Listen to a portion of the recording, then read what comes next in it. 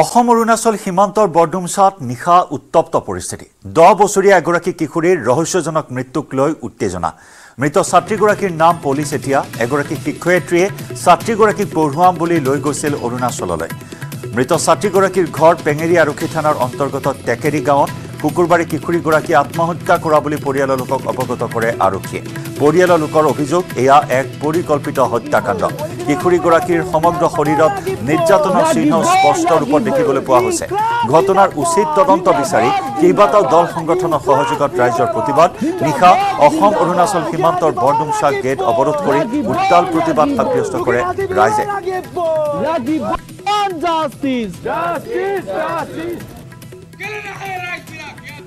প্ৰতিনিধি আৰু ছোৱালী এগৰাকী আচলতে অৰুণাচল প্ৰদেশৰ এগৰাকী শিক্ষয়িত্ৰী শিক্ষয়িত্ৰী এগৰাকী ঘৰত আচলতে আছিলে।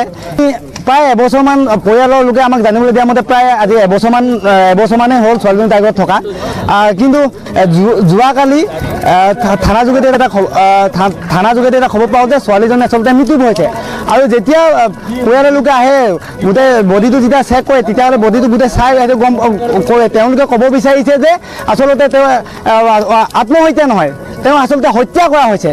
গতিকে আমি আজি বিভিন্ন স্থানীয় দল সংগঠন আচল- আচলতে একত্ৰিত হৈ আমি আজি বৰডুমচা সীমান্ত গেট বন্ধ কৰিছোঁ আৰু আমাৰ এটা কথা আমি স্পষ্ট হোৱাকৈ আপোনালোকৰ লগত ক'ব বিচাৰিছোঁ যে যদি অতি শীঘ্ৰেই পৰিয়ালটো আচলতে যদি ন্যায় নাপায় তেনেহ'লে তেনেহ'লে কিন্তু আমি বিভিন্ন জাতি জনগোষ্ঠীয় সংগঠন প্ৰায় বৰডুমচাবাসীয়ে আমি গোটেই একত্ৰিত হৈ কিন্তু আগলৈ অনিৰ্দিষ্ট কাললৈকে কিন্তু আমি গেট বন্ধ কৰিবলৈ আমি বাধ্য হ'ম। তৃতীয়বাৰলৈ ই ডিয়ে চমন জাৰি কৰিছে দিল্লীৰ মুখ্যমন্ত্ৰী অৰবিন্দ কেজৰিৱালক। তিনি জানুৱাৰীৰ পূৰ্বে কেজৰিৱালক হাজিৰ হোৱাৰ নিৰ্দেশ দিছে ই ডিয়ে দিল্লীৰ সুৰা নীতি গোচৰত সোধা পোছা কৰিব কেজৰিৱালক।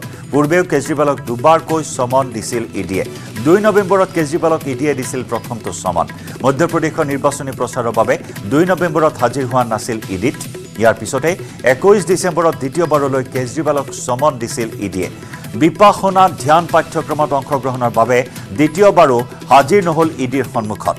দ্বিতীয়বাৰ হাজিৰ নোহোৱাত তিনি জানুৱাৰীত পুনৰ হাজিৰ হোৱাৰ নিৰ্দেশ দিয়া হৈছে দিল্লীৰ মুখ্যমন্ত্ৰী অৰবিন্দ কেজৰিৱালক যাক লৈ দিল্লীত আম আদমী পাৰ্টীৰ মাজত অব্যাহত আছে প্ৰতিক্ৰিয়া প্ৰতিবাদ।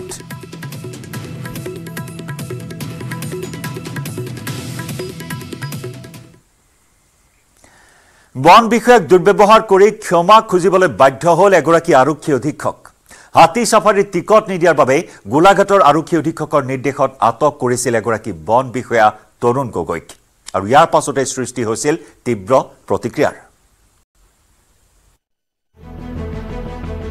আৰক্ষী অধীক্ষকৰ ডিমাণ্ড পালন কৰিব নোৱাৰাৰ বাবেই আৰক্ষী থানাৰ আলহী হ'ল বন বিষয়া। কাজিৰঙাত এছ পি ৰাজেন সিঙৰ ক্ষমতাৰ দম্ভালি। এছ পিৰ পৰিয়ালৰ মনোৰঞ্জনত বন বিষয়াই দিব নোৱাৰিলে সুবিধা।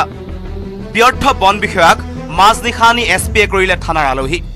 কহৰা আৰক্ষী থানাত নিশা চাৰি ঘণ্টা মহৰ কামোৰ খাই বহি ৰ'ল কাজিৰঙা ৰাষ্ট্ৰীয় উদ্যানৰ বন বিষয়া তৰুণ গগৈ। গোলাঘাটৰ আৰক্ষী অধীক্ষক ৰাজেন সিঙৰ চূড়ান্ত ময়মতালিক লৈ এতিয়া সমগ্ৰ ৰাজ্য হতবাক। মন গ'লেই এনেকৈ এগৰাকী বন বিষয়াক আটক কৰি ৰাখিব পাৰিনে? ক্ষমতাৰ অপব্যৱহাৰ নকৰিবলৈ খোদ মুখ্যমন্ত্ৰী তথা আৰক্ষী সঞ্চালক প্ৰধানে জনাইছিল আহ্বান। কিন্তু মুখ্যমন্ত্ৰী তথা ডি জি পিৰ আহ্বানক যেন বুঢ়া আঙুলি গোলাঘাটৰ আৰক্ষী অধীক্ষক ৰাজেন সিঙৰ। ৰাজেন সিঙৰ এই উৎফণ্ডালিক লৈ সমগ্ৰ ৰাজ্যত এতিয়া তীব্ৰ প্ৰতিক্ৰিয়া। তেখেতৰ ওপৰত আপোনালোকে তেখেতৰ বেকগ্ৰাউণ্ড চেক কৰিব লাগে আৰু তেখেত আজি এছ পিৰ মৰ্যাদাটোক যি ধৰণে অপমান কৰিছে তাৰ ওপৰত এটা উচ্চস্তৰীয় তদন্ত হ'ব লাগে। এজন এছ পিৰ তেনেধৰণৰ বিহেভিয়াৰ কেতিয়াও হ'ব নোৱাৰে। আৰু আমি পাব্লিক হিচাপে কৈছোঁ আমি গোলাঘাটত আমি এজন এছ পি বিচাৰোঁ। যোন জনদৰদী হ'ব লাগিব মানুহৰ কথা বুজি পাব লাগিব। ঘটনা অনুসৰি নিজৰ আত্মীয়ৰ নামত হাতী চাফাৰীৰ বাবে পাঁচখন আসনৰ টিকট বিচাৰি এছ পি ৰাজেন সিঙে ফোন কৰিছিল বন বিষয়া তৰুণ গগৈলৈ। হাতী চাফাৰীৰ বাবে আসন দিব নোৱাৰাৰ বাবেই প্ৰথমে অশ্লীল ভাষাৰে ধমক দি পিছত বন বিষয়াগৰাকীক আটক কৰাৰ কাৰা নিৰ্দেশ দিয়ে কহৰা আৰক্ষীক। কহৰা আৰক্ষীয়ে বন বিষয়া তৰুণ গগৈক নিশা প্ৰায় এঘাৰ বজাত কাজিৰঙাৰ ডিৰিঙৰ নিজ বাসগৃহৰ পৰা আটক কৰি কহৰা আৰক্ষী চকীলৈ লৈ যায়। চাৰি ঘণ্টামান থানাতে বহুৱাই থোৱাৰ পাছত গোলাঘাট জিলা আয়ুক্তৰ হস্তক্ষেপত তেওঁক পুনৰ যাবলৈ দিয়া হয়। এছ পি ৰাজেন সিঙৰ এনে অসভ্যালিত মানসিকভাৱে ভাগি পৰিছে বন বিষয়া তৰুণ গগৈ।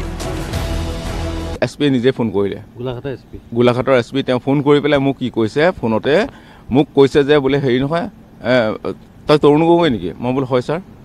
তই বুলি কৈছে নেকি? অঁ তই বুলি কৈছে তই তৰুণ গগৈ নেকি? হা কৈছে তই তোক মই এতিয়াই এৰেষ্ট কৰাই আছোঁ ৰ। আৰু শ্লেং ৱৰ্ড কৈছে সঁচাকৈ আহিলে আৰু মোক এৰেষ্ট কৰিলে।